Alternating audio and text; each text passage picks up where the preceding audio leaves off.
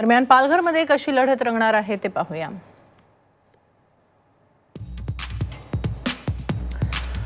श्रीनिवास वनगा यांना शिवसेनेकडून उमेदवारी देण्यात आलेली आहे तर भाजपचे उमेदवार असणार आहेत राजेंद्र गावित.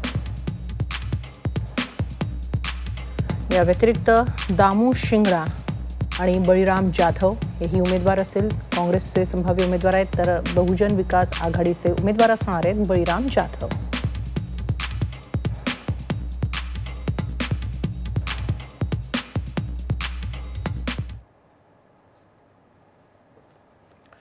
तर भंडारा गोंदिया लोकसभा मतदारसंघाची पोटनिवडणूक लढवायला राष्ट्रवादीचे नेते प्रफुल्ल पटेल तसंच त्यांच्या घरातलं इतर कुणीही इच्छुक नाही. त्यामुळे राष्ट्रवादीकडून या पोटनिवडणुकीसाठी विजय शिवणकर नाना पंचबुद्धे आणि माजी उमेदवार मधुकर कुकडे या तीन उमेदवारांची नावं चर्चेत आहेत.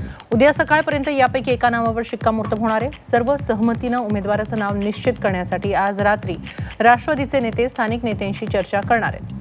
दरम्यान भंडारा गोंदिया लोकसभा पोटनिवडणुकीसाठी भाजपकडून हेमंत पटले यांना उमेदवारी देण्यात आली. उद्या हेमंत पटले आपला उमेदवारी अर्ज दाखल करणार आहेत. नाना पटोले यांनी खासदारकीचा राजीनामा दिल्यानंतर या ठिकाणी पोटनिवडणूक होतीये.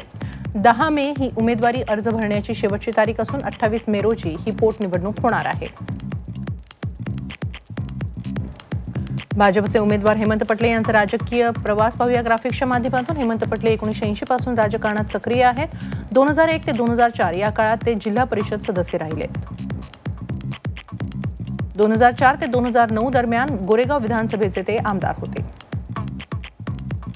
दोन हजार चौदा ते दोन हजार सतरा दरम्यान ते महाराष्ट्र भाजप प्रदेश कार्यकारिणी सदस्य होते. सध्या गोंदिया भाजप जिल्हाध्यक्ष म्हणून ते काम पाहतात. झी चोवीस तास. रहा एक पाऊल पुढे.